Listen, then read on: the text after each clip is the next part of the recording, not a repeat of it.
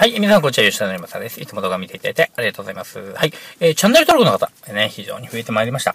えーと、チャンネル登録まだの方はですね、こちらの上の方にね、チャンネル登録という、この辺ですね、ボタンがございますので、えー、で、お願いしたいと思います。で、スマートフォンの方はですね、こちらの下の方にですね、えー、ボタンがございますので、よろしくお願いしたいと思います。はい。今日ご紹介するのはこちらですね、バシン。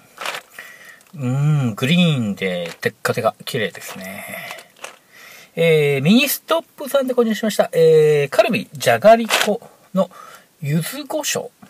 ほう、大人じゃがりこと書いてます。期間限定148円でございますね。開けてみたいと思います。見た目は普通のじゃがりこですね。あ、ああ、柚子の香りがすごい。いっぺんに2本いただいてみます。なぜいっぺん2本か。お金持ちだからですね。いただきます。うん。うん。柚子の香り、柚子の味、柚子テイスト。すごいですね。で、じゃがりこなんでとこの特有のですね、ちょっと固めの食感ですね。長さ、短めなんで食べやすいですね。うん。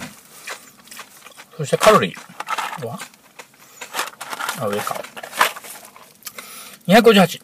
ね、258。車の中ではね、こういうのはね、非常に食べやすいのかなってね、思うんですよね。うん。うまいです。ちょっとピリ辛でございます。はい、ありがとうございました。ということで、えー、今日ご紹介したのは、えー、カルビ大人じゃがりこゆず胡椒でございました。ありがとうございました。